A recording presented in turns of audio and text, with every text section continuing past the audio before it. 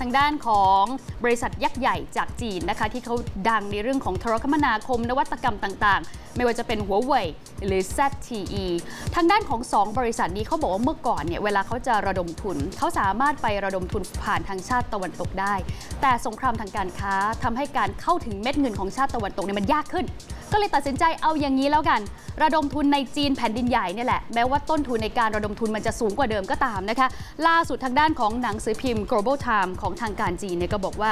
ZTE ประกาศแผนเตรียมออกตราสารหนี้ในจีนแผ่นดินใหญ่ หลังจากได้รับอนุมัติจากสมาคมผู้ลงทุนสถาบันของตลาดการเงินแห่งชาตินะคะหรือที่เรียกว่า National Association of Financial Market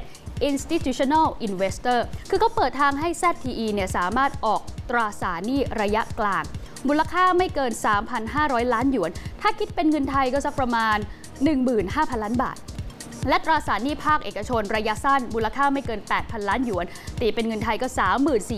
34,390 ล้านบาท ในช่วง 2 ปีข้างหน้านี่คือ ZTE นะคะ ส่วนทางด้านของหัวเว่ยล่ะ หัวเว่ยเนี่ยทางด้านของประธานเจ้าหน้าที่บริหารและผู้ก่อตั้งนะคะนายเหลินเจิ้งเฟยเขาก็ออกมาส่งสัญญาณว่าเตรียมจะออกตราสารหนี้ในตลาดจีนมากขึ้น โดยให้สัมภาษณ์กับสื่อจีน ยอมรับว่าปีที่ผ่านๆมาเนี่ยหัวเว่ยก็เคยมีการระดมทุนผ่านธนาคารของชาติตะวันตก แต่ตอนนี้เนี่ยทุกอย่างมันไม่เหมือนเดิม การเข้าถึงตลาดการเงินของตะวันตกเนี่ยมันยากขึ้น หัวเว่ยจึงจำเป็นต้องเบนทิศการระดมทุนมายังตลาดจีนแทน ก่อนหน้านี้เนี่ยหัวเว่ยเพิ่งจะออกตราสารหนี้สกุลเงินดอลลาร์สหรัฐไป 4 ฉบับนะคะแล้วก็ยังมีตราสารหนี้สกุลเงินหยวนอีก 2 ฉบับ ผ่านธนาคารของจีนในตลาดฮ่องกง